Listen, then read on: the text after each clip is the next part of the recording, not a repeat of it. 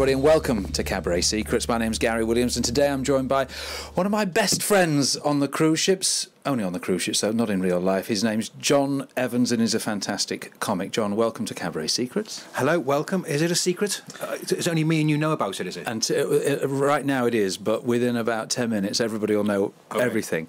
Not just about us, but about the craft of telling jokes for cabaret artists. That's what I want to talk to you about because the people that are listening to this are mostly singers who are developing uh, or wanting to improve their cabaret acts. And a lot of, I, I always tell people, one of the most important aspects of the show is what they say.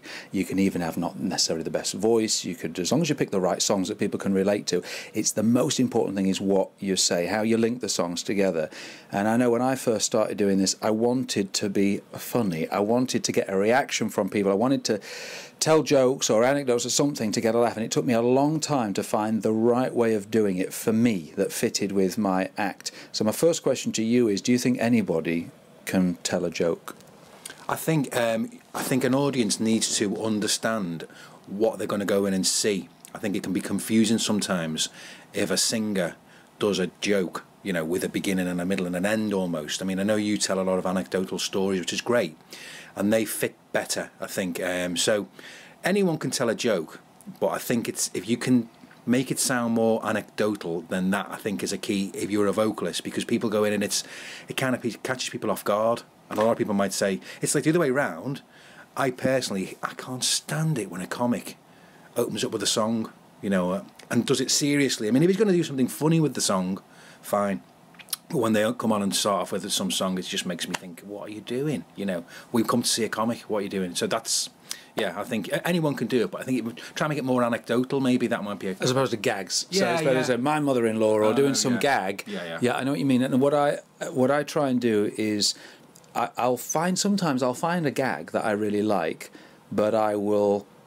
I, I- say contextualize it. I'll put I'll put it into a story. I'll make up a story. So when I was, you know, my first gig that I ever did, or the first time I was on this ship, or Yeah. the last time I worked with this musical director, he said to me, uh, blah blah blah, and I try. I set up a scene. I make it sound very natural and conversational, and then the gag's still there, but it's sort of kind of just sandwiched in between this nice little personal uh, uh, story. if you can make it, as you say, conversational, it'll make it more relaxed for you telling it as well. You know, you'll be more sort of just like well, we're using the word all the time, conversational. I mean, there's nothing worse than.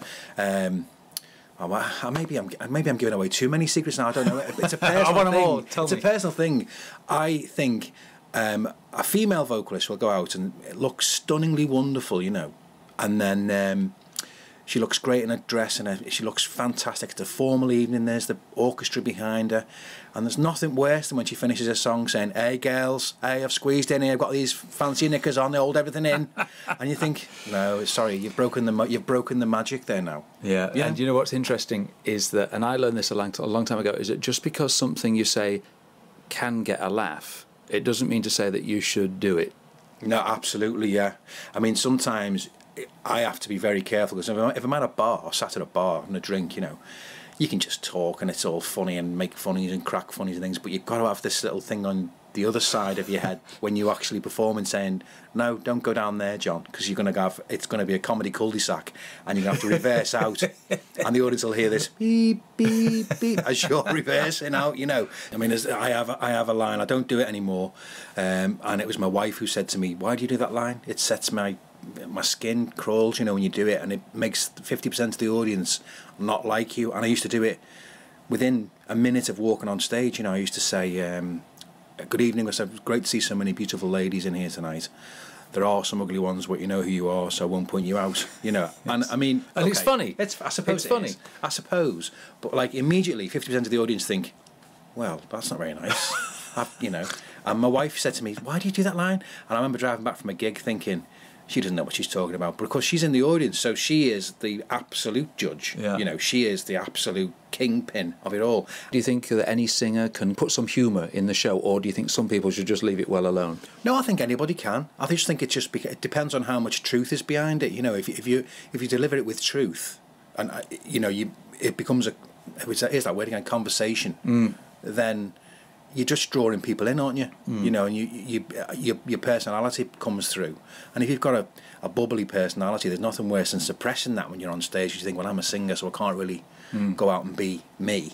You But know, what if you're the opposite and you, you just you're not really funny in real life? I mean, you know, you're not the kind of person that would, if you're with your friends or with a group of people at a dinner party or something, if you're, you're the kind of person that just recoils in horror at uh, having to say something funny, uh, do you think those kind of people can, uh, you know, change not. their personality? I would probably not. I would say when you say it like that, you know. I mean, and again, it depends what what kind of.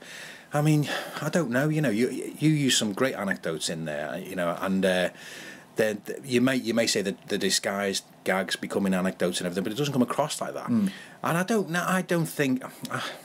I don't know. I think if if you don't feel comfortable with it, it will come across.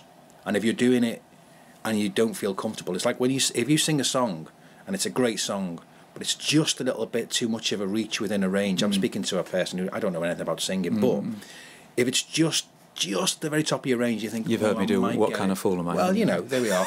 I wanted to bring that up. Um, I'm glad it's a bit awkward here now, folks, but there we are. No, you know, that's the thing. You just think, oh, do you want to be doing that? Because Yeah. everything else is so perfect. Yeah, yeah, yeah. So maybe it's the same. Maybe it's the same as telling gags. I don't know. Yeah.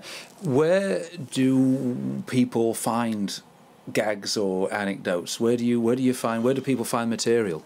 Well, a long time ago, you'd, you'd hear a gag, and then it would be it'd be yours for you know months. You know, you'd hear a gag, you, you'd change it around a little bit and make it fit into a situation that you were on. You know, where you were working. You think, well, I'll make that fit into that routine there.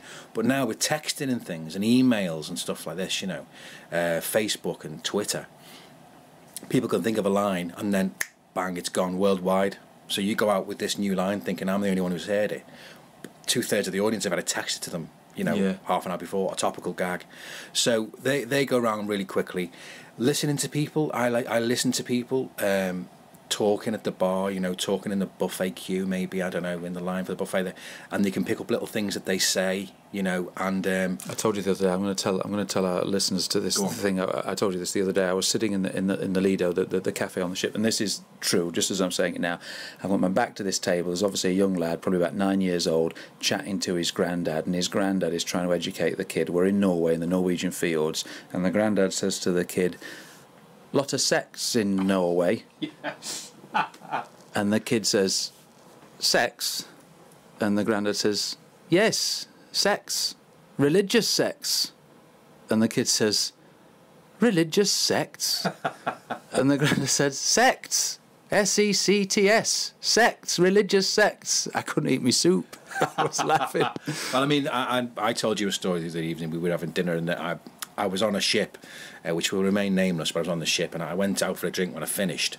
And I went into the bathroom. Um, I was outside this nightclub, but I went into the bathroom and closed the door of the cubicle and proceeded to start, what we all do, you know. And just then the door flew open, and I was mortified, thinking, You fool, John, you haven't locked the door. So I reached forward to lock the door, apologising to the guy in the doorway, and he was apologising to me for being stupid to not, you know, shut the door. And I was thinking, You fool. And as I'm reaching forward to lock the door, he shut the door, and I'm reaching forward to lock the door, and then all of a sudden the door flew open again, and I'm still sat there on the toilet, you know. And he looked at me, it's the same bloke in the doorway, and he said, Hey, smashing show, by the way. and you just think, I had no CDs to sell him, I had nothing to sign, you know.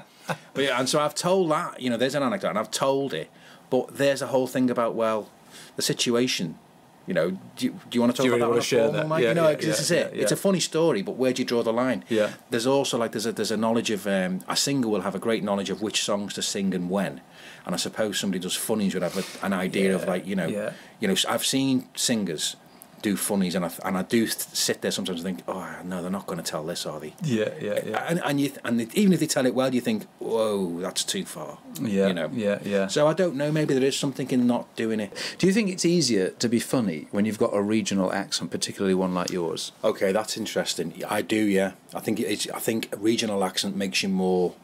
It sounds a lot warmer and a lot rounder, some way. I don't know why. And I I just think it. I, I always think it does, you know, and it does lend itself. But I'm my accent's very watered down now, and it's become very. I can barely understand a word you're saying, really. Yeah, this is Radio Three. This is going on, isn't it? And um, um, What was it before it was watered down? Just grunts. It was, mm, pardon. no, I used to. I, and I, so now mine. I, I mean, it, it was always watered down because in Liverpool we have a very Scouse accent, strong accent from the people on the other side of the water, Hmm. uh, and on the Wirral where I live, um, we're considered to be quite posh. We're not, you know. Naturally, I can see that. Well, yes, and um, so one speaks with one's, you know, One speaks with one in better. with, with plums in one's mouth, Yes. so so to speak. I'm quite lucky in that respect, but I still had this accent. That people say, "Oh, he's from Liverpool," you know, and he, so yeah, I think it does. kind of exp- almost expect you to be funny, just Well. with the, the well, and it's also this thing about the northern accent as well. Like uh, I'm a big fan of Alan Bennett or, or Oh, okay, Victoria yeah. Wood, and Yeah, when yeah. she's doing the, there's just these lines. It, it, you can't imagine them working as well on someone with a nice, clean RP accent. This is the thing, isn't it? You know, I mean, there are some people, but you see, they lend themselves. The the, the accent will lend itself to being um, like Stephen Fry, for example, is extremely funny. That's true. Yeah. Um, and there's another comic, I can't remember his name now, a big tall guy. And he plays on the fact he's very English and very correct when he speaks. And he plays a sarcasm card, you know, and looks down on everybody and, you know, that kind of thing. I can't remember his name. But Stephen Fry's hilariously funny. I mean, Paul Merton's got a very, you know, Yeah. southern accent, but it's a regional accent, isn't it? It's not, Yeah. you know, plummy kind of thing. And he's Yeah. funny. Uh, so, yeah, I mean, I, th- I think it would, it does help, does help. Talk breaks down a barrier, maybe, maybe breaks down a barrier. Maybe I, I don't know if it's something about the, the timing or the, the just the, the way that an accent Timing. skips along. you talked before about finding material, uh, and you said at one time you'd hear a gag, and then you'd Yeah, do it, you'd make it your own, or now you see something on on Twitter.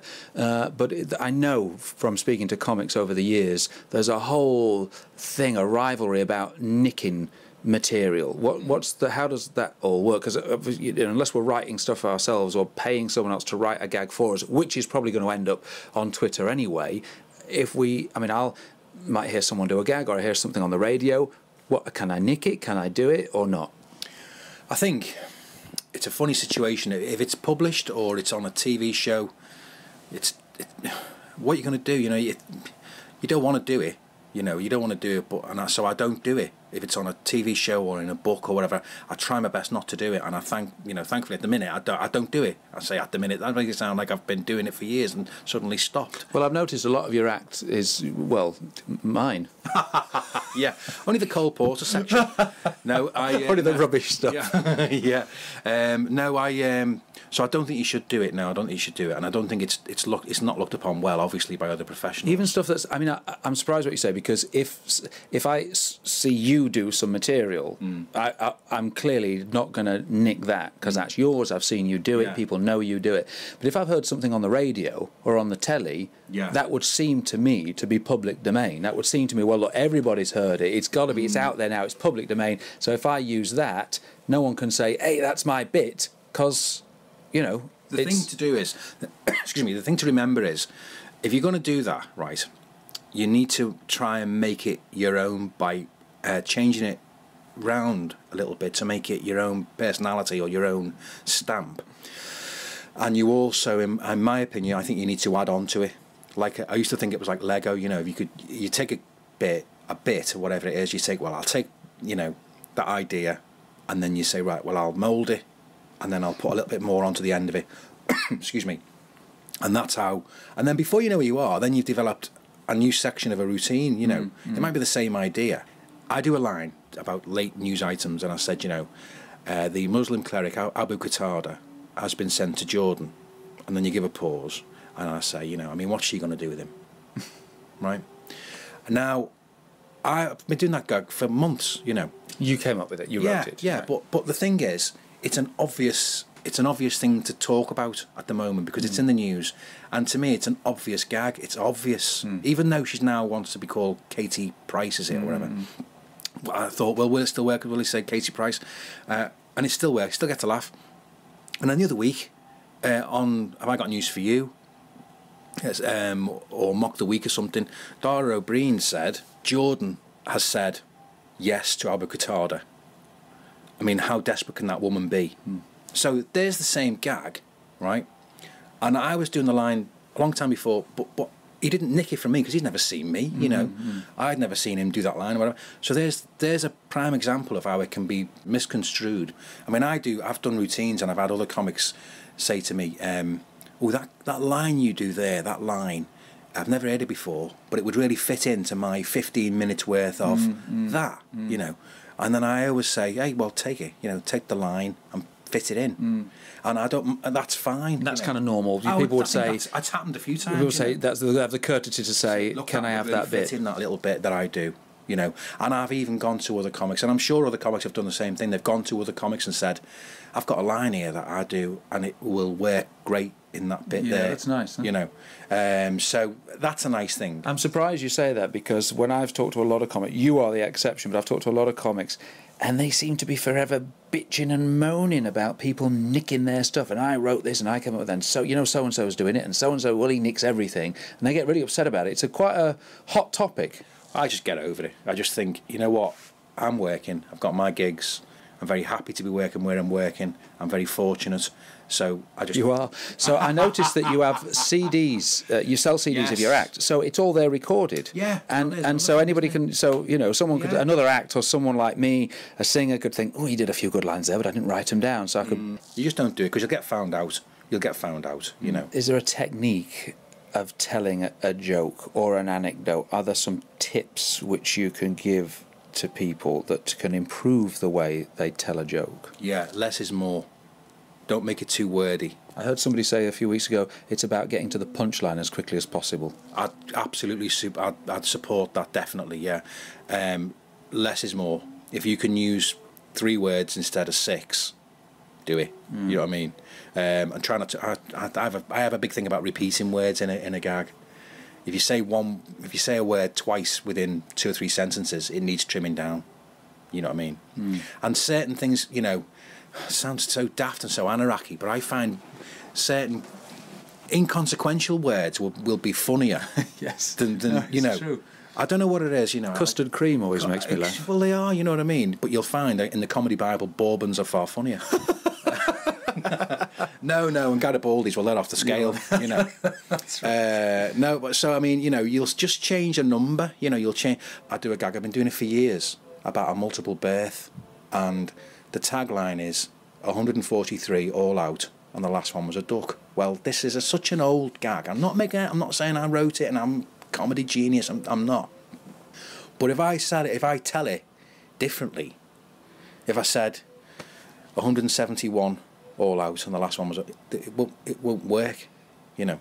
So I say 140, and I've said 143 all out. I've said it for years. Yeah. That's the number, 143 Yeah, all out. funny, isn't it? Um, if you use a phone number in a gag, you'll find that for years you'll use the same phone number, you know, in the same wording of it. So you can, you, you, less is more, and make sure it scans well and it, it bounces. It's got to have a rhythm. Yeah, that's right. Just If you, you know, if, you, if, if if you're singing a song that's badly written or difficult to sing, you know, because it's got a strange rhythm, it's it's hard. It's hard for you as a performer and hard for an audience who's only hearing it for the first time. When I sing, I will have sections in my show, Yeah. and so the the opening section might be what I consider the first three numbers, and that's all about coming on. Hello, I'm here. a number to make them feel comfortable, and maybe something to get them involved a little bit. That's my opening section. Then I'll go into the next section. Totally right. Yeah, that's how, that's how I do it. I have I have I call them bits. You know, um, last week I was on a different ship altogether, and I decided to flip the shows. You know, as a performer, you'll develop an A show and a B show, as I call them. Your A show is your, what you consider to be your strongest stuff, so you go out and do it, and your B show is Everything else. Is everything else, yeah. So um, I decided to flip it around and opened up with the B show and did it, and it was a great exercise. It was really good maybe sometimes you know you think about doing that. I used to work for P&O Cruises an awful lot, and you used to have to do three shows, three separate shows. And I remember thinking to myself, now when I look back Three? three, yeah. How long? Uh, th- used to be at least thirty minutes long, at least. So, I mean, some nights I used to get to twenty-five and think, "Oh my god!" I mean, I'll be honest, I was only I was so young. These there was a lot at the beginning and a lot at the end of. Well, isn't it been a nice day? uh, you know, you look lovely, love. You look nice, you know, and all that. And so, listen, great day tomorrow. Don't forget. And so I look back and I think, my God, that was awful. But it forces you to, to look for new bits and, and, and put stuff in. So that's always good too, you know. Any any other little tips for anyone to to, to go away with? I think st- stay away from contentious subjects. You know what I mean? good, if you yeah. don't feel comfortable talking about it, if you somebody said to me one time, if you're going to feel uncomfortable telling your your mum or your dad or your nan, That's good. don't do it. Yeah. You know, and Even if it's really funny. yeah, and if you need, I remember asking a cruise director once, "Will I will this will I get away with this gag?" And he said to me, "If you need to ask me, then no." It's true. and because you, what will happen is you'll half deliver it. You'll go, "Oh, should I be telling this?" Instead of giving it balls, for want of a better phrase, and uh, and doing it. So avoid contentious subjects. And above all else, you know what? I sound this sounds so awful, but enjoy it. Remember, you're in a job that people would kill to be in, and if you enjoy it, then that will transmit. And if you go on and be meek and think, oh God, I can't be bothered, or you know, you're thinking, oh, you're going through the rigmarole, that will transmit as well. So you must go out every single time and enjoy it. Thank you for listening to this Cabaret Secrets podcast. If you've got any comments or questions, please visit cabaretsecrets.com, where you'll also find details of the Cabaret Secrets book, an indispensable guide on how to create your own show, travel the world, and get paid to do what you love.